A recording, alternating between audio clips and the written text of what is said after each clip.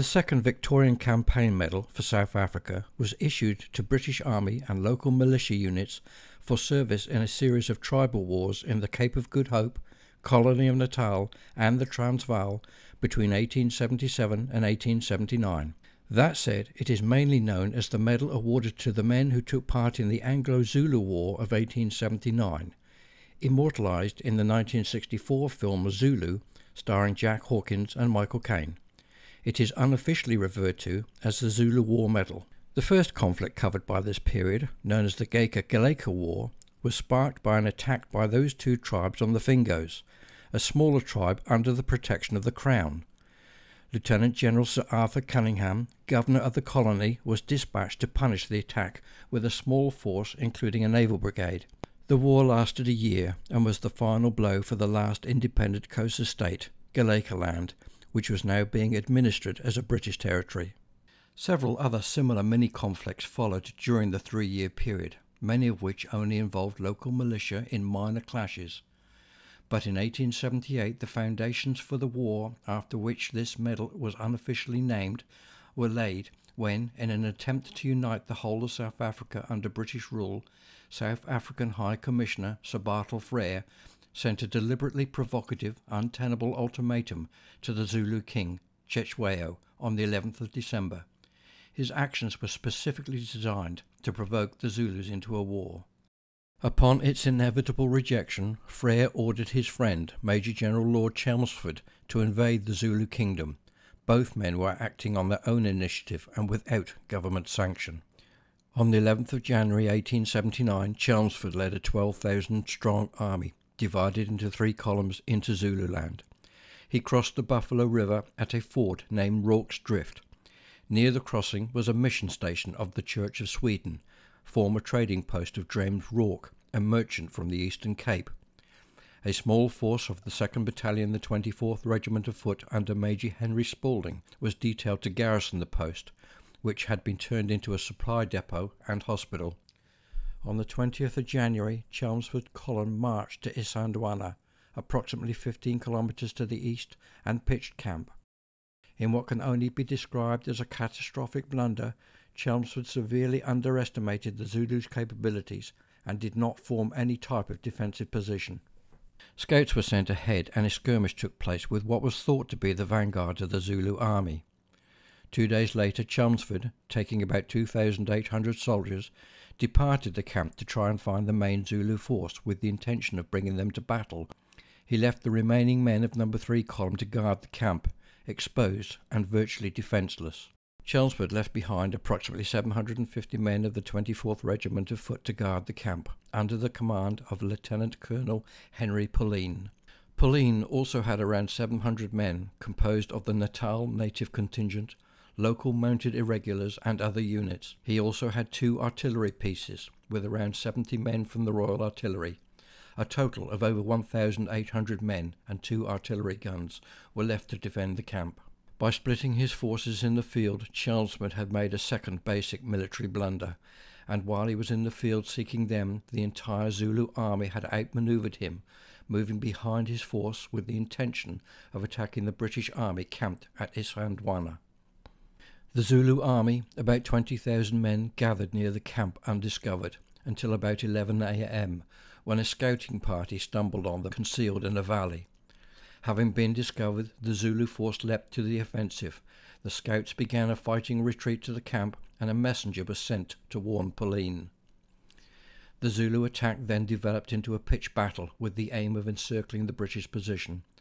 Pulleine sent out first one, then all six companies of the 24th Foot into an extended firing line with the aim of meeting the Zulu attack head on and checking it with its firepower.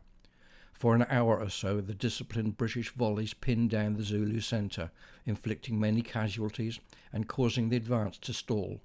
Morale remained high within the British line, sensing a possible victory. Nevertheless, the left wing of the Zulu advance was moving, unseen, to outflank and envelop the British right. The troops on the British right, commanded by Lieutenant Colonel Anthony Durnford, a veteran of the Xhosa Wars, had been fighting the longest, and began to withdraw as their ammunition ran low.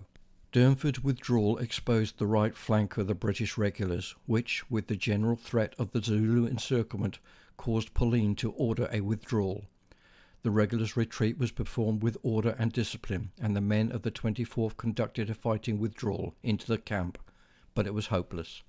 The diminishing number of British troops, despite far superior firepower, was no match for the overwhelming number of Zulu warriors, and while a small number of the British contingent managed to escape, the defenceless camp was soon overrun. The British fought back to back with bayonet and rifle butt when their ammunition ran out, but they finally fell to spear and club. A later search of the battlefield found the presence of a large number of bodies grouped together, suggesting the resistance was protracted, and a number of desperate last stands were made. Evidence shows that many of the bodies were found in several large groups around the camp, including one last stand of around 150 men.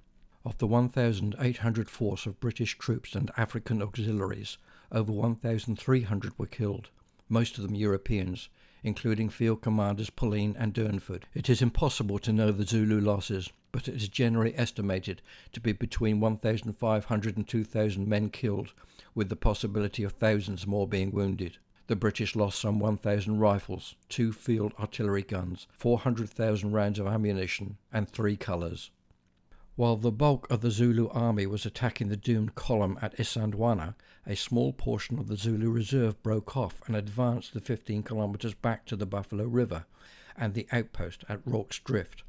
The garrison, now under the command of Lieutenant John Chard, Spalding having left to look for an overdue relief column, was ignorant of the battle till about 3 p.m., when Lieutenant Gert Adendorff of the native Natal contingent arrived bearing the news of the defeat and that part of the Zulu army was approaching the station. Chard, a lieutenant of the Royal Engineers, consulted with Gonville Bromhead, a lieutenant from the 24th Regiment, but junior to Chard, and decided that the only course of action was to stay and defend the garrison. Chard and Bromhead directed their men to make preparations to defend the station, and a defensive perimeter was quickly constructed out of mealie bags. This perimeter incorporated the storehouse, the hospital, and a stone corral. The buildings were fortified with loopholes knocked through the external walls and external doors barricaded with furniture. The Zulu, numbering around 4,000, arrived at the waiting garrison at around 4.30. The defenders numbered some 150 men, some of them in hospital sick or injured.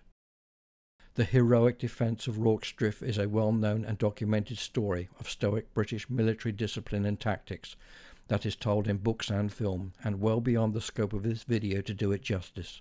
Suffice to say that the defenders endured 12 hours of nearly constant but piecemeal attacks from a vastly greater force of courageous but lightly armed Zulu warriors. At the break of day on the 23rd of January, the survivors were relieved to find that the Zulu had withdrawn, they were exhausted by the previous day's advance and badly hurt by the drift's solid defence. Some 350 dead warriors were counted around the site, and an estimated another 500 were wounded. Inside the camp, 17 defenders were dead and another 15 badly wounded. Almost every man had some kind of wound. The British government needed a good news story to counter the disaster at Isandlwana, and Rorke's Drift was perfect. Eleven Victoria Crosses were awarded to the defenders, seven of them to soldiers of the 24th Foot, the most ever received for a single action by one regiment. Four Distinguished Conduct Medals were also awarded. Following the battle and siege, Chelmsford had little choice but to withdraw from Zululand, but it didn't end there. With British prestige severely dented and the desire to avenge it by winning the war, London now authorised a second invasion, this time under Sir Garnet Wolseley, who was sent to replace Chelmsford. But before he could arrive, Chelmsford, again somewhat without orders, avoided handing over command to Wolseley and managed to defeat the Zulus in a number of engagements, the last of which was the Battle of Ulundi on the 4th of July 1879, in which, after half an hour of concentrated fire from artillery, the then new Gatling gun, and thousands of British riflemen, the Zulu military power was finally broken. Chelmsford then ordered the royal kraal of Ulundi to be burnt. Chelmsford finally turned over command to Wolseley on the 15th of July, leaving for home on the 17th. He had partly salvaged his reputation, largely because of Ulundi, However, he was severely criticised by a Horse Guards investigation and would never again serve in the field. The Medal for Events in South Africa from 1877 to 1879 was sanctioned by Army Order No. 103 of August 1880, but it seems to have created some confusion. It was to be a new version of the South Africa Medal of 1853, covered in number 8 of this series, but no mention of a change in design was contained within the order. This missing information means that the obverse of the South Africa Medal of 1879 is identical to the earlier medal, which is all well and good, except that the young Queen design was well out of date by now, Victoria now being over 60 years old. This design had not been used for medals for nearly 20 years, the last one being the Second China.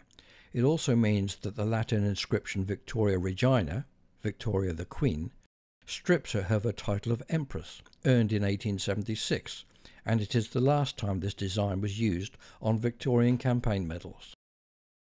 The reverse of the 1879 South Africa medal is again taken from its earlier counterpart and features a crouching lion on a plinth in front of a protea bush with a single flower.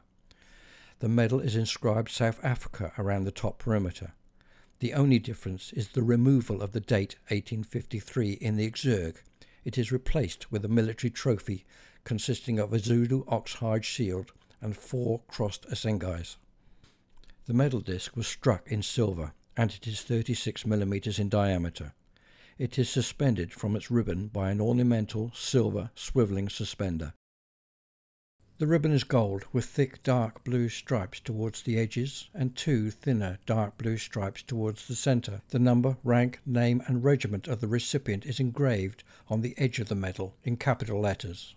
Seven clasps were authorised, all of them denoting the years in which the recipient served.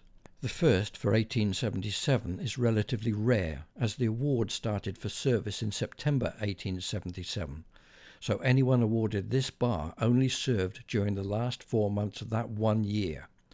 153 of these were awarded. The second was for 1877 78, some 5,800 clasps were awarded. The third was for 1877, 78, and 79, awarded to recipients who had qualifying service in all three years. Over 3,500 of these clasps were eventually issued. The fourth, for 1877-9, was awarded to recipients who had qualifying service in 77 and 79 but no service in 78. By far the scarcest clasp awarded for this medal and one of the rarest of any Victorian campaign medal, it is highly sought after by medal collectors. Numbers are uncertain, but certainly less than 30 were ever awarded. The fifth was for service only in 1878, just over 2,000 of these clasps were awarded, and the sixth was for service in 1878 and 79, 1,185 of these clasps were eventually awarded. And the last was for service only in 1879, by far the most numerous given that reinforcements had arrived to enable the second invasion of Zululand and the Battle of Ulundi over 18,000 of these clasps were eventually issued.